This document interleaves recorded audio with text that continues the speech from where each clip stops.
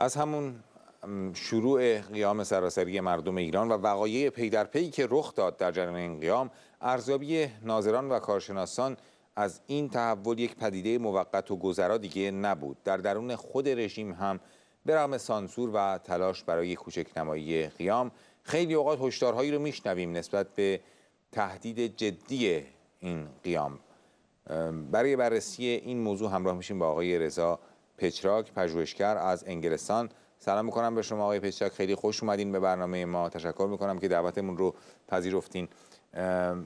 در حالی که خود رژیم بارها مدعی شده که خب این قیام تموم شد یا اختشاش تموم شد پسافتنه هستیم الان و از این جور حرفا. یا حتی میاد میگه که ما تا الان مماشات کردیم. مماشات دیگه نباید کرد. برخیشون میگن میگن اگر خشونت و شلیک جنگی بکنیم مثل قیام آبان 98 این موضوع رو تموم می‌کنیم یعنی قیام رو خاموش می‌کنیم. سوال اینه که چرا این قیام تا الان به هر ترتیبی استمرار پیدا کرده و ارزیابی هایی که نسبت به این قیام میشه و نسبت به سرنوشتش حتی در سطح بین المللی یا داخلی متفاوت نسبت به قیام های قبل از اون؟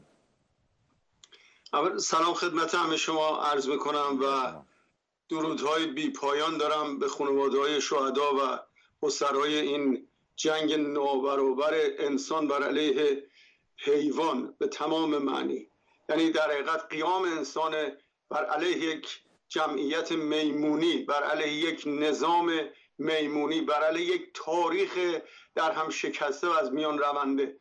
من اول از همین رو بگم.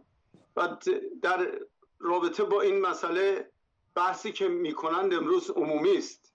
یعنی اینکه اگر ما به تئوری های انقلاب برگردیم ما در با سه جنریشن به سه, سه نسل انقلاب با تئوریاش هست مفصلا ولی امروز خیلی ساده ما می‌تونیم بگیم که دو مورد پیش اومده در درجه اول که اونم یکی این که تغییر کلی در دستگاه شناخت به قول معروف مسلط بر جامعه است. یعنی پیشرونده جامعه است. و اونی هم که این مردم این شرایط روانی و به اصطلاح فرهنگی حاکم بر جامعه رو دیگه بر نمیتابند. این یک اینها رو در تناقض روزمره با هویتشون قرار داده در تضاد روزمره با آیندهشون.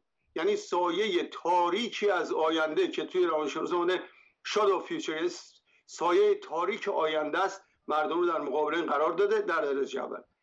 از نظر از نظر دیگه هم که ما نگاه بکنیم این سیستم خودش رو رسونده به بحرانهای سیستمیک. یعنی دستگاهش به طور ساختاری دچار ناسازگاری و بحران شده. اینی که در اینجا رژیم دیگه ظرفیت رژیم که چه ارز کنم؟ چون رژیم بیا تعریفی داره که امروز بر اساس اون تعریف از هم پاشیده است. ولی سیستم چون ظرفیت دیگه تصمیم گیری و تصمیم گیری ها و اجرای تصمیم های خودش داره از دست میده ما نگاه می‌کنیم ببینیم این رسیده به نقطه‌ای که بهش میگن critical points با اون قسمت های حساس و حیاتیش که رو به ریزش میره. ببینید این همه تقریبا میشه گفتش که همه تو دنیا افرادی که تنها کسانی که امروز معتقد نیستن به اینکه این رژیم این این قیام قیام پایانی است کسانی هستن که به ظرفیت نظامی رژیم برای سرکوب این قیام ها به قول این قیام اینا به اون باور دارن. که اون هم امروز نشون میده این حرکتی که امروز ایجاد شده ظرفیت این رژیم رو به از به ضعیف کرده. یعنی اینکه وارد این مرحله سایشی و فرسایشیش کرده و در ضمن پراکندگی بسیار جالبی توی جغرافی های این قیام وجود داره که هر یک از در هر یک از نقطه های قیام شدت و سرعت بالاست. و این باعث میشه که رژیم نتونه خودش رو نیروهای سرکوبش رو در یک نقطه متمرکز بکنه.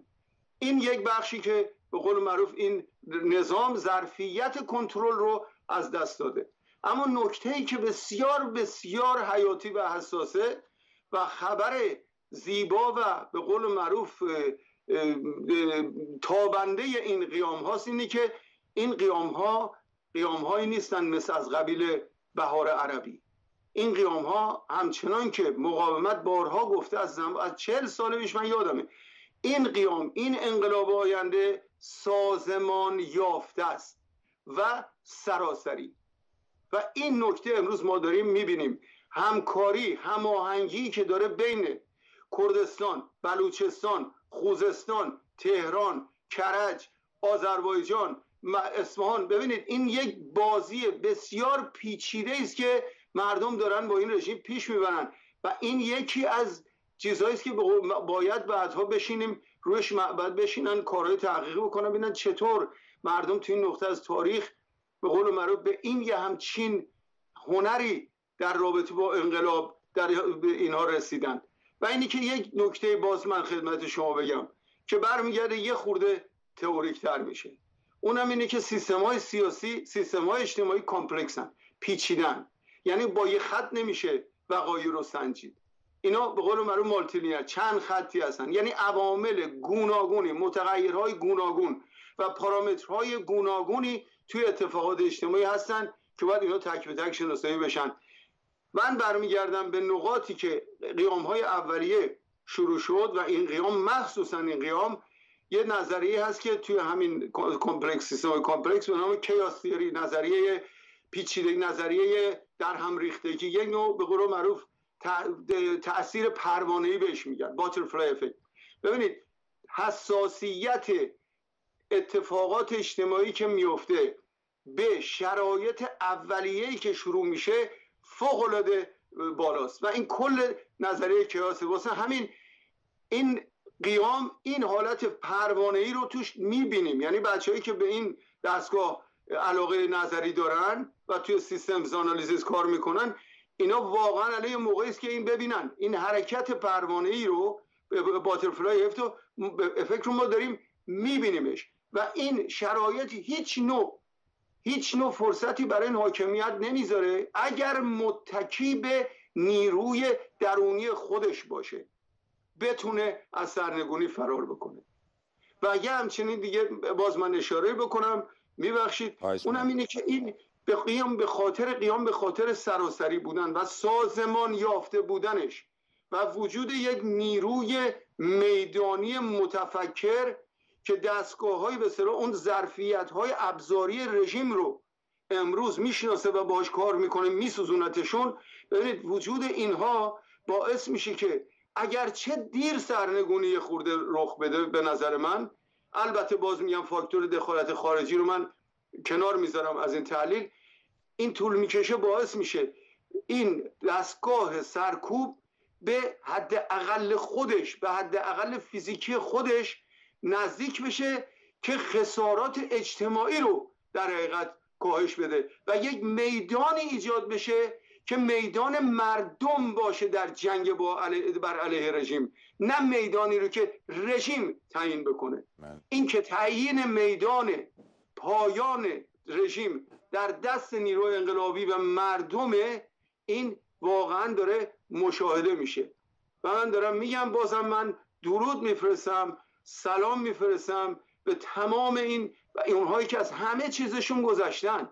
واقعا من به شما بگم یک دونه ببینید رفتن یه چیزی گذاشتن و یک صدای ایجاد کردن یه در بین بردن این هنری نبوده. کاری نیست. اما این کوکتل مولوتوفا اما این عملیات سوزاندن به قول معروف اون شاخص های رژیم اینها اینا هر کدومشون یک بها و یک ریسک یک خطرپذیری انسانی رو میطلبه که واقعا تحسین آمیزه ببخشید من یه خورده توتون نگرد برای اینکه می‌دونم شما انقدر این روزا سرتون به قول معروف قلبتون همه وجودتون شما کف دستتون و تو میدون با بچه ها همین میترسم همش وقتتون رو بین ببرم. ببخشید. اختیار دارین آقای پشک خیلی استفاده کردیم از صحبتاتون. تشکر می‌کنم از اینکه حضور پیدا کردین. انشالله باز هم این بحث و علت استمرار قیام و سرنوشت این قیام رو در گفتگوهای بعدی با شما مورد بحث قرار خواهیم داد. خیلی خوشحال شدیم. تشکر می‌کنم ازتون. خدا نگهدارتون.